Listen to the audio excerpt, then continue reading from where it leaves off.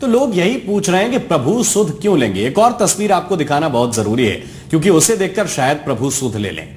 Train के engine को थककर सुस्ताने के बारे में क्या आपने कभी सुना है?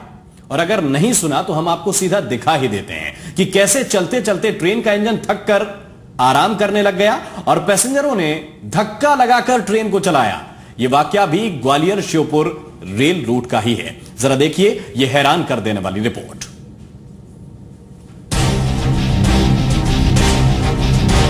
आपने लोगों को कार को धक्का देते देखा होगा। बस को ट्रक को धक्का लगाते देखा होगा। लेकिन क्या ट्रेन को धक्का लगाते देखा है?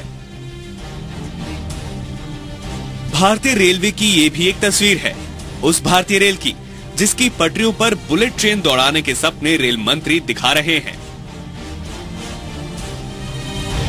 शुक्रवार को यह अनोखी घटना ग्वालियर के पास, रामदास घाटी में हुई। ग्वालियर रेलवे स्टेशन से narrow gauge train Kailaras Sabalgarh के लिए रवाना हुई थी। जैसे ही ट्रेन रामदास घाटी पर चढ़ी, इंजन गर्म होकर बंद हो गया और ट्रेन अपने आप रुक गई। ग्वालियर से श्योपुर के बीच चलने वाली नैरो गेज ट्रेन के यात्रियों के लिए इंजन का इस तरह से गर्म होकर रुक जाना कोई नई बात नहीं थी। बीच कस्बे में ट्रेन करीब एक घंटे तक खड़ी रही। लेकिन रेलवे की तरफ़ से कोई सुध नहीं लिए जाने पर यात्रियों ने खुद ही पहल की और ट्रेन को धक्का देना शुरू किया।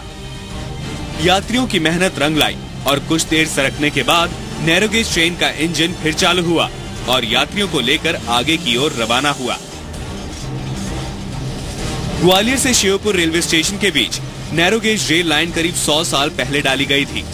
रेल पटरियाँ और इन रेल पटरियों पर चलने वाली गाड़ियाँ जर्जर हालत में पहुँच चुकी हैं।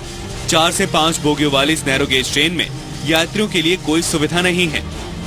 आने जाने का कोई साधन ना होने की वजह से यात्री बोगियों की विंडो, दरवाजे और उसकी छत पर सफ़र करने को मजबूर होते हैं।